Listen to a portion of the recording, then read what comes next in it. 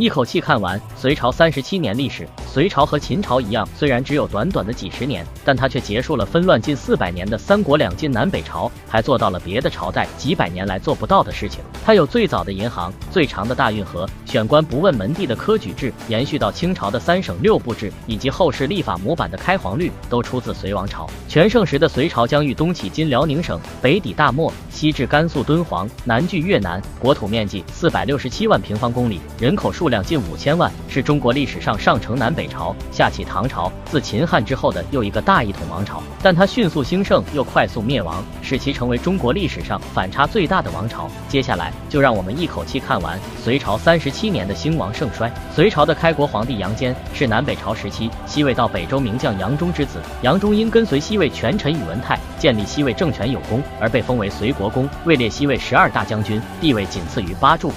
宇文泰病逝后，他将权力。移交给侄子宇文护，随后宇文护逼迫西魏皇帝元阔禅让于宇文泰之子宇文觉后，建立了北周政权。北周建立后，宇文护专政，他在三年内连杀北周孝敏帝宇文觉、北周明帝宇文毓二帝后，又拥立宇文泰第四子宇文邕为帝，是为北周武帝。而官二代杨坚在父亲杨忠的加持下，十四岁就被征辟为公曹，开始进入仕途；十五岁又被授为车骑大将军，十六岁晋封为骠骑大将军。十七岁时，北周八柱国之一的独孤信看中了杨坚。气质非凡，于是把十四岁的独孤伽罗嫁给了他。二十七岁时，他的父亲杨忠病逝，杨坚承袭了父亲隋国公的爵位。此时，北周武帝宇文邕在吸取了前两位兄长被宇文护杀害的教训后，暗中积聚力量，最终诛杀了权相宇文护，夺回朝政大权。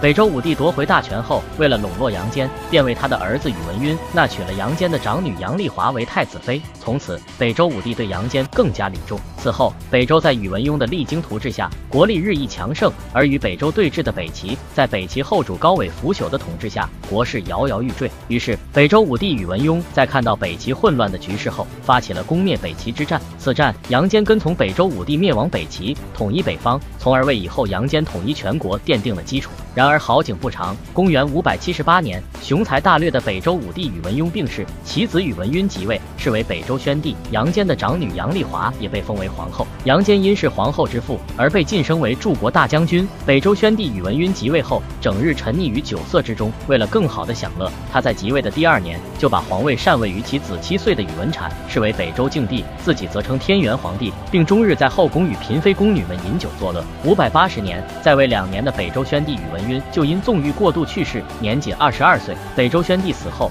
他的近臣刘访和郑义因和杨坚有旧，便伪造诏书，让杨坚以外戚的身份辅政。于是，北周敬帝宇文产拜杨坚为大丞相，百官皆听命于他。从此，杨坚独掌朝政。杨坚当上大丞相后，就开始了篡夺北周政权的计划。他首先将北周皇室诸王都召来京师长安，防止他们反抗。随后，宇文泰的外甥相州总管尉迟迥因不满杨坚专权，起兵叛乱。杨坚派北周名将韦孝宽领军将其击败，从而为称帝铺平了道路。五百八十一年，万事俱备的杨坚逼迫北周敬帝禅位后，篡周称帝，是为隋文帝。因父亲杨忠被北周封为隋国公，固定国号为隋，但杨坚又认为隋的偏。旁游走的意思，孔不祥便改为隋，并定都长安。但当时的长安破败狭小，杨坚便在城东南龙首山创建了一座新的都城，名叫大兴城，定为隋朝新都。同时册封独孤伽罗为皇后，长子杨勇为太子。同年，杨坚将九岁的北周敬帝宇文产杀害，自此享国二十四年的北周灭亡。隋文帝杨坚称帝后，着手开始了统一全国的战争。此时，隋朝统一天下的对手只剩下南方的陈朝，但北方的游牧民族突厥，在其可汗杀沙波略妻子北周千金公主的劝说下，以给北周宇文氏复仇为由，突然侵犯隋朝。隋文帝由此决定先败突厥，后灭陈朝。随后，隋文帝派军大举讨伐突厥，在击败突厥后，隋文帝又利用当时突厥有四位可。可汗相互不和的情况，采用长孙晟的离间之计，让四位可汗自相残杀，从而使突厥分为东西两部。从此，东西突厥无力抵抗隋朝，纷纷归降。其中，东突厥沙波略可汗还给隋文帝上尊号为圣人可汗。从此。隋文帝成为突厥名义上的君主。五百八十八年，解除了北方突厥的威胁后，隋文帝杨坚派晋王杨广出六合，杨俊出襄阳，杨素出永安，三路大军共五十万大举伐陈。而此时，陈朝陈后主却身居高阁，整日里花天酒地，疏于戒备，致使隋军很容易就渡过长江，攻入陈朝都城建康，活捉陈后主。自此，享国三十二年的陈朝灭亡。不久，各地的陈军或受陈后主号令投降，或抵抗隋军被消灭。只有领南地区在冼夫人的带领下，仍然保境聚守。五百九十年，隋文帝派韦光安抚岭南，岭南圣母显夫人顺应历史潮流，率族人归附隋朝。自此，隋文帝统一全国，结束了纷乱近四百年的三国两晋南北朝时期。统一全国后，隋文帝杨坚励精图治，对社会各个领域进行了一系列改革，以适合于南北统一后的中国。他在中央实行三省六部制，又将地方的州、郡、县三级制改为州县两级制，由此巩固了中央集权。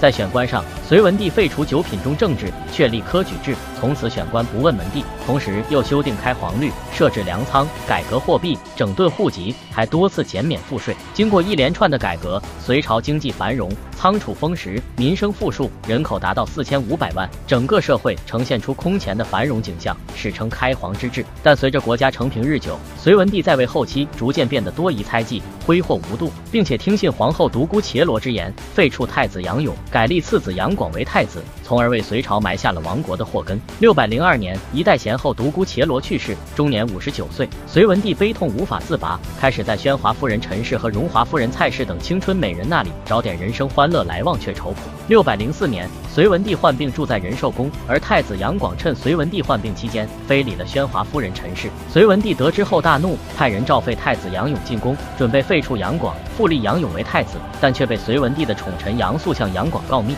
杨广得知后，假传旨意将人拦截，并迅速调来自己的亲信士兵，包围了隋文帝的住所仁寿宫。不久后，隋文帝杨坚离奇去世，终年六十四岁，在位二十三年。同年，杨广即位，是为隋炀帝。隋炀帝是一位有远大志向的皇帝，他以大业为年号，就可见其志向高远。为了能像秦始皇和汉武帝一样，成为历史上的又一位千古一帝，也为了满足自己骄奢淫逸的欲望，以及摆脱关陇门阀的控制，隋炀帝下令营建洛阳，并定为新都，又以洛阳为中心，修建了贯通南北的隋唐大运河，同时还修驰道、筑长城。在隋炀帝刚刚即位时，隋朝的国力仍然强盛。然而，在其统治的十多年间，为了修建这些工程，前后征调劳役和兵役的人超过一千万。当时，隋朝全国的人口有近五千万，若男子占一半，则是两两千五百万人。除去老弱病残，也不过一千万人。成年男子不足以服役，就由妇女充当。他们日夜不停的施工，民工不堪忍受，有近一半的人悲惨死去。装运尸体的车辆往来不绝。隋炀帝的所作所为已超出了社会的承受力，给人民带来无尽的灾难，从而激起人民的反抗，最终引发大规模农民起义。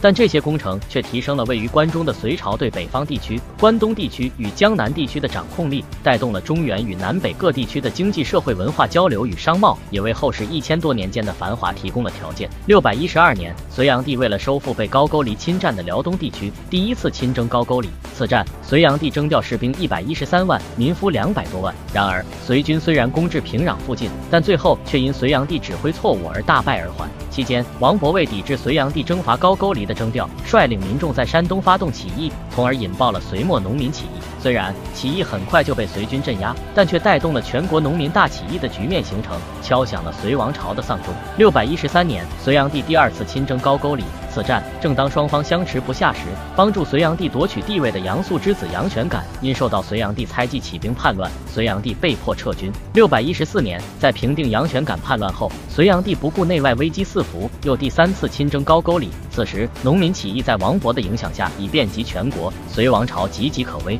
而高句丽也疲于战争，遂遣使向隋炀帝请降。隋炀帝见国内农民起义已成燎原之势，无奈同意高句丽的请降，撤军而归。隋炀帝连续三年的三征高。沟里先后动用人力数百万，征调财物无数，大量士兵和民夫死于战场劳役。这不仅严重削弱了隋朝国力，也使隋炀帝丧失民心，从而加速了隋末农民大起义的扩大，使隋朝统治崩溃，名存实亡。六百一十五年，隋炀帝班师还朝后，并没有全力去镇压农民起义，而是又出塞北巡长城。隋炀帝即位后，就开始年年出巡，他曾三游扬州，两巡塞北，一游河右，三至涿郡，还在长安和洛阳间频繁往来。每次出游都率领诸王、百官、后妃、宫女等一二十万人。所经州县五百里内都要贡献食物，挥霍浪费的情况十分严重。当这次隋炀帝北巡长城时，臣服于隋朝的东突厥，在其首领史毕可汗的苦心经营下，逐渐强盛，遂有了反叛隋朝之意。于是史毕可汗趁隋炀帝北巡之机，亲率数十万大军将隋炀帝包围在雁门城中。隋炀帝大为恐惧，